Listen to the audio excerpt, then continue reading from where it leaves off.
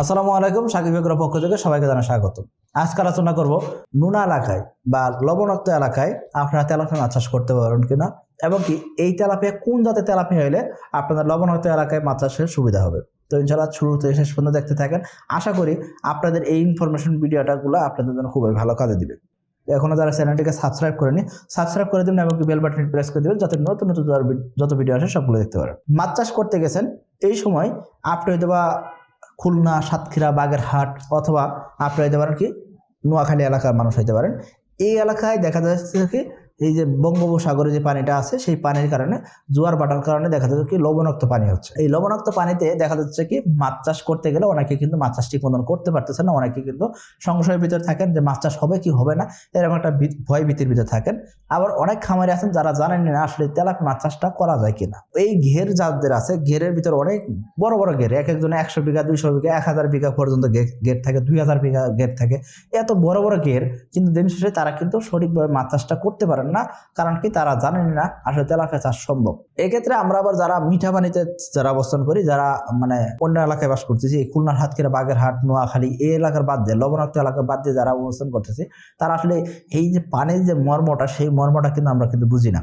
ধরেন ময়মনসিংহে বলেন উত্তরবঙ্গের এলাকা বলেন বা সিলেট এলাকার মানুষ বলেন, আমরা কিন্তু লবণাক্তর যে বিষয়টা, সেটা কিন্তু আমরা বুঝি না। সিলেট এলাকায় আবার একটা সমস্যা আছে, সিলেট এলাকায় দেখা যায় কিন্তু কিছু ক্ষেত্রে কিন্তু আয়রনের একটা প্রাদুর্ভাব থাকে। তো আমি বলব আপনাকে যে আমরা যারা মিঠা পানিতে যারা, মিঠা পানিতে যারা মাছ চাষ করি, তারা কিন্তু আল্লাহর একটা বড় একটা নিয়ামতের ভিতরে আছে। সেই ক্ষেত্রে আমাদের অবশ্যই সুক্রিয়া আদায় করা উচিত। যে আলহামদুলিল্লাহ বলা উচিত যে আমাদের আল্লাহ এত বড় একটা নিয়ামত দিয়ে রাখছে আমরা ইজিলি চাইলে মাছ চাষ করতে পারতেছি। যে কোনো জায়গায় মাছ চাষ করা যাচ্ছে ইজিলি কিন্তু মাছ চাষ হচ্ছে। তো এখন এই নোনা নোনা এলাকায় যে তেলাপি চাষ করা যায়, সেই সম্পর্কে অনেকে হয়তো বা বলবেন যে ভাই চাষ করতে পারব কেউ পারব না, সেটা নিয়ে একটু ভয়ে ছিলাম। বা ভয় পাচ্ছি। আগে তো কেউ করে নাই। আমাদের এলাকায় শুধু বাগদা চাষ হয়, আমাদের এলাকায় শুধু গলদা চাষ হয়। মানে তারা অন্য কোনো দিকে চাষ করার কোনো আগ্রহ দেখার নাই। আমি গত বছর থেকে একটা রিসার্চ করে আসছিলাম যে নুন এলাকায় আসলে আমাদের তেলাফিয়া টিকে কিনা? আমাদের তেলাফিয়াটা তাদের এলাকায় দিলে তারা কতটুকু পরিমাণ পার্সেন্টেজে লাভবান হতে পারে সেই জিনিসটা আমরা দেখার চেষ্টা করতেছিলাম।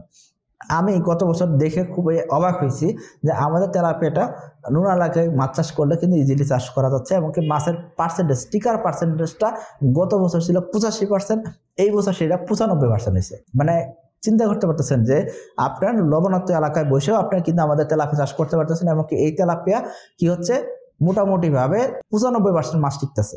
অর্থাৎ একশো পার্সেন্ট মাছ ছাড়ছেন নার্সারি পুকুর থেকে নিয়ে কালচার পুকুরে দেওয়ার সময় আপনি দেখতেছেন কি পঁচানব্বই পার্সেন্ট অর্থাৎ একশো মাছ আপনি ছাড়লে নার্সারি পুকুরে দিচ্ছেন একশো মাছ থেকে পঁচাশ পঁচানব্বই মাছ পঁচানব্বই পিস মাছ আপনি লালন পুকুরে দেওয়ার মতো উপযুক্ত মাছ পাচ্ছেন। এটা একটা বড় একটা সারপ্রাইজিং একটা বিষয় ছিল। আমি আলহামদুলিল্লাহ খুবই খুশি। এটা একটা মানে ভালো একটা দিক ছিল। এই বছর অনেক খামারি ভাইরা বৃষ্টির জন্য অপেক্ষা করছেন যে বৃষ্টি হলে পানিটা একটু মিঠা হবে। তখন কি করা যাবে? এই লবণাক্তটা কমতে থাকবে, মিঠা পানি বাড়তে থাকবে। তখন আমরা কি করব? মাছ চাষ করব। আবার অনেকেই নিচ থেকে ডিপের ব্যবস্থাপনা নাই। তো তার, যার কারণে দেখা যাচ্ছে মিঠা পানির জন্য অপেক্ষা করছেন। তো তারাও এই সময়টা ইজিলি কিন্তু চাইলে কিন্তু আপনার কিন্তু চোখ বন্ধ করে ইনশাল্লাহ আপনার কিন্তু মাছ চাষ করতে পারেন আমি খুলনা, সাতক্ষীরা, বাগেরহাট, পাইকগাছা, একদম সবগুলো এলাকা থেকে আমি কিন্তু এবছর পোনা দিছি এবং তাদের রেজাল্ট খুবই ভালো। তারা কিন্তু আমাদের থেকে পুরানে ভালো একটা ফিডব্যাক দিছে।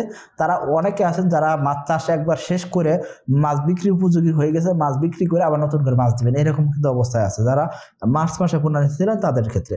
তো আমি বলব আপনাদের যদি আপনি যদি লবণাক্ত এলাকার মানুষ হন এবং কি এই জায়গায় যদি আপনি মাছ চাষ তেলাপি মাছ চাষ করতে যাচ্ছেন, সেটা কি যাতে তেলাপি দিয়ে আপনার শুরু করবেন সেরকম একটা চিন্তায় আছেন? তো আমি বলব আপনাকে, আপনারা আমাদের এই তেলাপি চাষ শুরু করতে পারেন। আমাদের যে এস টাইগার তেলাপি এই তেলাপিটা খুবই স্ট্রং সহজে মারা যায় না এবং সারা বাংলাদেশে যে কোনো জেলা আপনি পরিবহন করতে পারেন।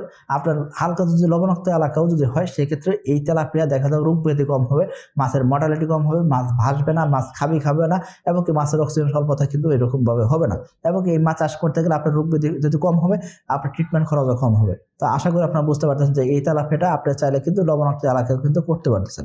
তবে যদি অত্যধিক পরিমাণ লবণাক্ত হয়, একদম খুব বেশি লবণাক্ত, সেই জায়গায় কিন্তু এই তেলাপিয়া কিন্তু টিকবে না। তো আমি বলব আপনাকে, যদি একটু কম লবণাক্ত হয়, মৃদু লবণাক্ত হলে তো কোনো চিন্তা নেই, হালকা লবণাক্ত হলে তো কোনো চিন্তা নেই। যদি একদম কড়া গাঢ় না হয়ে মানে একটা তো জিনিসে তো অবশ্যই একদম লিমিট আছে মানে অতিরিক্ত পরিমাণ লবণাক্ত, সেই জায়গাতে হবে না। মানে সাগরের পানি, সরাসরি সাগরের পানি যদি হয়, সেই জায়গায় তো আপনার চাষ হবে না। দেখা গেল কি, আপনার কিছুদিন সময় আপনার পানিটাকে রিজার্ভ রাখছেন, এই রিজার্ভ রাখার কারণে দেখা যাচ্ছে কিছুদিন পরে পানিটা হালকা মিঠা হয়ে গেছে, লবণাক্তটা একটু কমে গেছে, তখন আপনার কিন্তু ইজিলি দিতে পারেন। আবার যদি বৃষ্টি পানি যদি মিক্স হয়, তখন তো আলহামদুলিল্লাহ কোনো কথাই নেই। তো এই বছর শুরুতে বৃষ্টি হয় না, এই বছর শুরুতে বৃষ্টি হয় নাই, এখন কিন্তু বৃষ্টি হয়, কিন্তু সবার কিন্তু গেরে পানি হয়ে গেছে, আপনার কিন্তু চাইলে কিন্তু এই সময়টা কিন্তু আপনি কিন্তু তেলাপিয়া চাষ করতে পারেন এবং কি এই তেলাপিয়া কিন্তু আপনার অবশ্যই টিকবে, এটা আমরা গ্যারান্টি দিতে পারব। কারণ কি, লবণাক্ত এলাকায় অনেকে আছেন যারা সাতক্ষীরা থেকে পোনা সরবরাহ করতে চান, তারা দেখা যায় কি পোনা দিতে যায়, পোনা মারা গেছে, ওইরকম শক্তিশালী পোনা পান নাই লোকাল হ্যাচারি থেকে পোনা নিছেন, আবার অনেকে যশোরের থেকে পোনা কালেক্ট করার চেষ্টা করেন তেলাপিয়া, কিন্তু দিন শেষে কিন্তু যশোরে কিন্তু তেলাপিয়ার কোনো হ্যাচারি নাই। তেলাপিয়ার কোনো কোম্পানিও নাই। এই জন্য দেখা যাচ্ছে কি, বাংলা মাছের জন্য যদি হিসাব করেন, বাংলা মাছের কিন্তু যশোরে কিন্তু অ্যাভেলেবল হ্যাচারি আছে অ্যাভেলেবল কিন্তু অনেকে হাড়িতে করে বা অনেকে কিন্তু পাতিলে করে, অনেকে দেখা যাচ্ছে ছোটো ছোটো ভ্যানে করে বা বিভিন্ন ভা- ভাবে কিন্তু যশোর এলাকায় কিন্তু পুনার ব্যবসা কিন্তু করে আসতেছে। তাদের হয়তো হ্যাচারি নাই, কিন্তু অন্য হ্যাচারি থেকে পোনা কিনে নিয়ে এসে কিন্তু বিক্রি করতেছে। এই জায়গা থেকে যদি আপনি তেলাপিয়া পোনা সরবরাহ করেন, সেক্ষেত্রে পোনা কিন্তু টিকবে না। তা আমি বলব আপনাকে, ভালো জাতের, একদম শক্তিশালী মালয়েশিয়ান টাইগার জাতের যদি তেলাপিয়া যদি দিতে পারেন সেক্ষেত্রে আপনার তেলাপিয়া অবশ্যই অবশ্যই টিকবে। আমি ইনশাল্লাহ এটা আমি যেহেতু নগদ প্রমাণ পাইছি, সেই জায়গা থেকে আমি আপনাকে সাজেস্ট করতে পারি।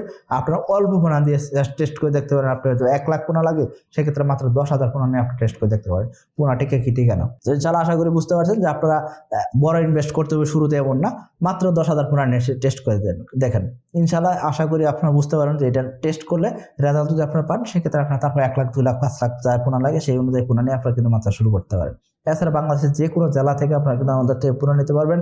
আমাদের যে স্ক্রিনে যে নাম্বারগুলো দিচ্ছে সেই নাম্বারগুলো সারা অন্য কোনো নাম্বারে যোগাযোগ করে আপনারা পুনঃ অর্ডার করবেন না।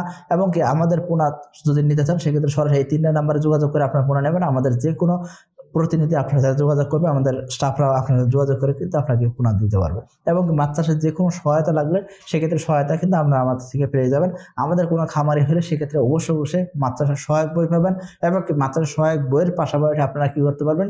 প্রতি দশ দিন পর পর আমাদের সাথে যোগাযোগ করে আপনাদের সমস্যাগুলো জানাতে পারেন এবং আমাদের কোম্পানি থেকে প্রতি দশ দিন পর পর ফোন দিয়ে আপনাদের সাথে কিন্তু যোগাযোগ করে আপনাদের কিন্তু খোঁজ খবর রেখে আপনাদের মাছ চাষে সহায়তা করতে চাচ্ছে এবং কি আমাদের, আপনাদের মাছ চাষের যাতে স্বাবলম্বী করা যায় সেই জিনিসটা কিন্তু আমরা সাকিব এগুলো আমি পার্সোনালি কিন্তু চেষ্টা করে যাচ্ছি। সো আপনারা আমাদের দোয়া করবেন, আমাদের কোম্পানির জন্য দোয়া করবেন আমাদের, আমরা যাতে আপনাদের যাতে সর্বোচ্চ সাপোর্টটা দিতে পারি। তো সবাই ভালো থাকবেন, সুস্থ থাকবেন। আসসালামু আলাইকুম।